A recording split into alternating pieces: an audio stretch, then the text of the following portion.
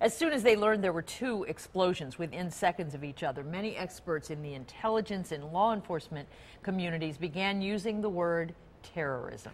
Nine on your side's Jason Law spoke with a counterterrorism expert and has more tonight on what he's been able to glean from what happened. Jason? That's right, Clyde and Carol. Ed Bridgman is a certified U.S. Homeland Security instructor. He studies and teaches counterterrorism all throughout the country. And he says one of the things that worries him the most is that somebody out there may see what happened in Boston earlier today, a copycat, may see what happened and get inspired by it, and then try and repeat what happened themselves.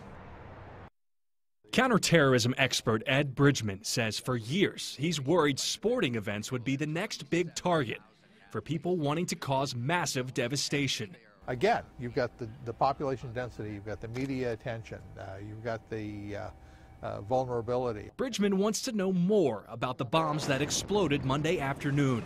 He says specific details like how they were built and how they went off can tell investigators a lot. Device itself, you know, what kind of device was it? Was it uh, time device? Was it uh, uh, what they call a uh, remote detonation, a command detonated?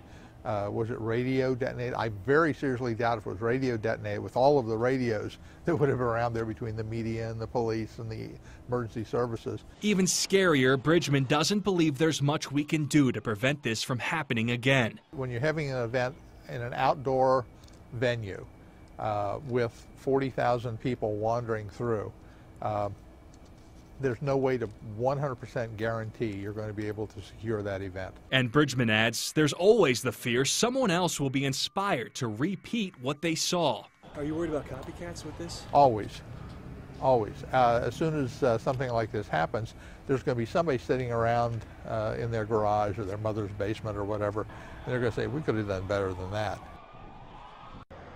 And when we talked with Ed Bridgman earlier today, he was expecting two or three groups to come right out and claim responsibility for the explosions in Boston. So far, that hasn't happened, though. And at this point, we still don't know if this was an act of domestic terrorism or international.